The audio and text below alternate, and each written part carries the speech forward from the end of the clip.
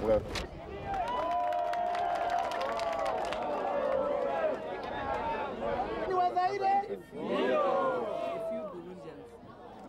Hmm?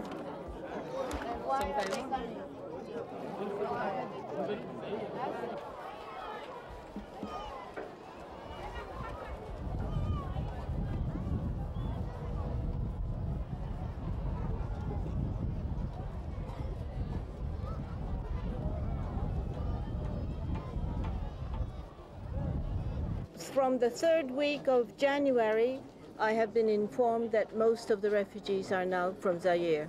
And when you ask them why they came, they say that it's to avoid to uh, to uh, uh, avoid the fighting. And I said, "Would you like to go back when uh, the fighting is over?" I said, "Any day, even today." That seems to be the kind of response that we're getting here. So these are only reception centers that would they would be here for four to seven weeks.